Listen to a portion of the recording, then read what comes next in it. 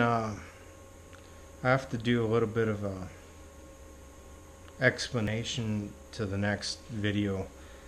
Um, the car I worked on prior to the 76.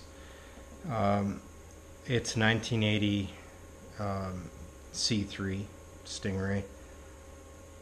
It's the last of the C3s. Um, the car came to me uh, through a family friend uh, that had bought it through, well, I think he bought it out of Pittsburgh and uh, got it into Canada, and he immediately uh, got work done on it. He got a 383 stroker uh, installed, new transmission, I think. I'm, I'm sure. Um, but he never did do an inspection prior to getting all this work done. So it sat in his garage because none of the electrical worked uh, inside the cab, like the power windows, uh, door locks, heater, uh, wipers, I think, didn't work. Pretty much everything. Uh, headlights did work, signal lights worked, but everything inside the cab did not. So when I found out about it, he said, "Yeah, it's been sitting in my garage for the last uh, I don't know. I think he said three or four years." And uh, without hesitation, I said, "Get it to my place now. We'll figure out the price later." Because I can't, like, the guy put so much money into this car, and he couldn't get it registered. So he got it over. Give me a day or two. I'll evaluate the car and I'll let you know what it needs. Um, when it came over that night, I went through it and I already I came up with the list. So it was there's about two weeks worth of work. So I let him know, you know, what it needs. He said, okay, yeah, that's good. Um, really it was about two thousand dollars worth of uh, hardware plus a bit of my labor. My labor ended up being like ten bucks an hour just because I wanted to see this car and I had nothing else to do at the time.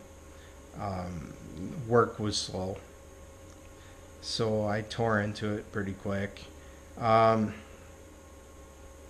I didn't do any video on the the repairs because I just wanted to get it done, get paid, get it back to him. So it had uh, uh, power door locks had issues, um, wiring issues, uh, power windows, the motors were shot, and wiring issues. Um, heater, same thing, wiring issues. Got it all fixed up. Got it, uh, oh, 100%. And that's what this video is going to be.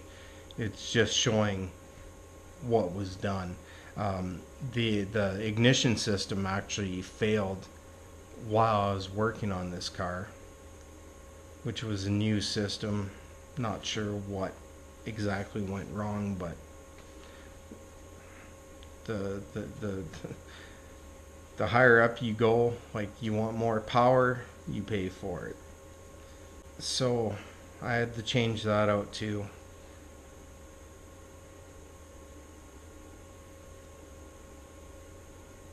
At the end of the video, uh, it'll explain why I'm actually doing this, but um, the the owner didn't survive. He passed away before I could get the car back to him.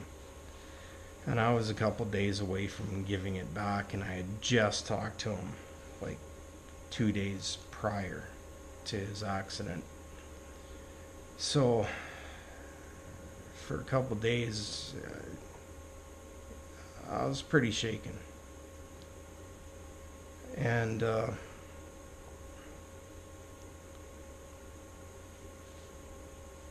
well, I just wanted to. Well, I just wanted to explain this is why I'm doing this pre video to what I did with the car.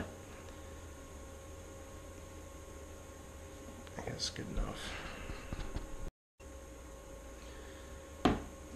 One of the things, one of the uh, extras, like once I got it ready for uh, inspection, which again didn't cost very much.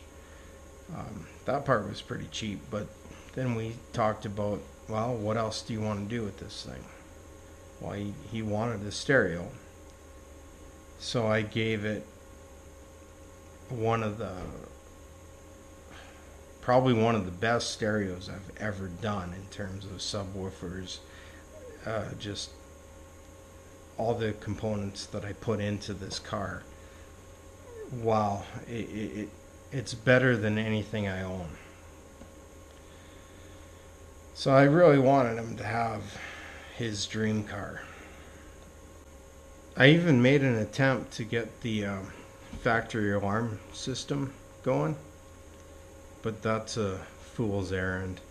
Um, I did get everything up and running, except uh, in the steering column there's a one last switch that does tend to fail, and uh, that's where I stopped because it, it needed. Well, there's a few other things it needed, but I never did get to address it with the owner because well, I never got to see him again.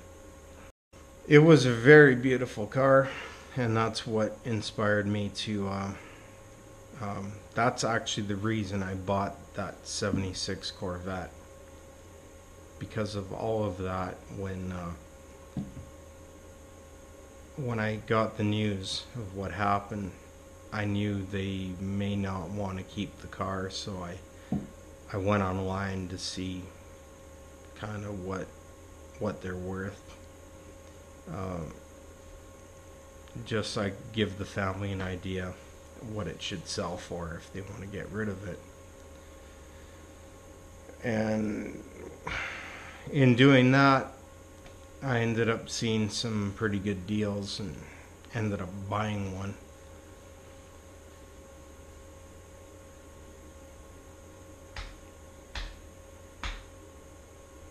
Yeah, I ended up buying one.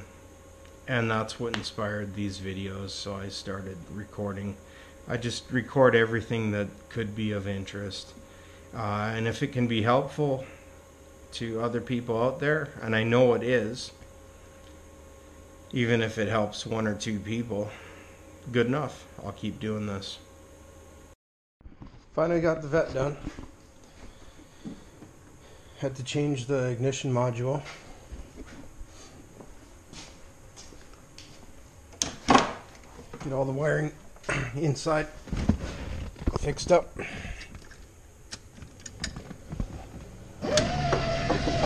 Windows work.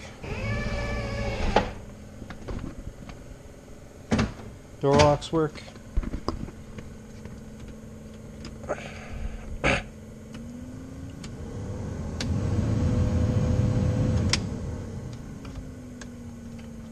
Rear defrost.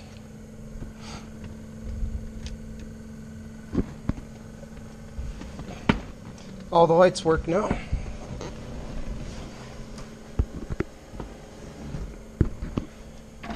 and I gave it a custom sub box.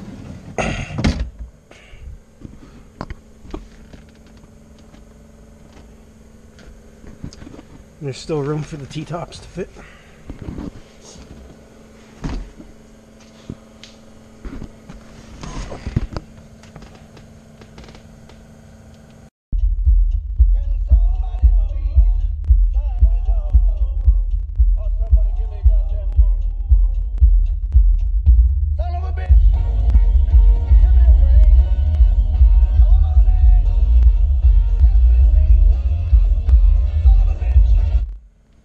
Was pretty much my theme song working on this car.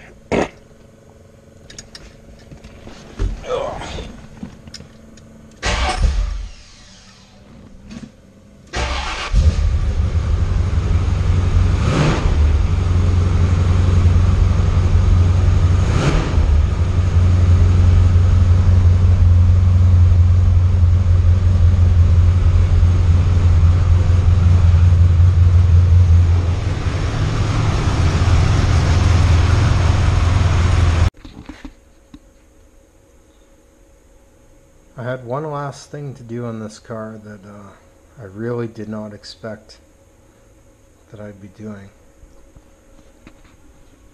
I was uh, two days away from delivering this thing to the owner, and I got a call that he uh, he passed away in a car accident. So uh, it was requested that I make this piece.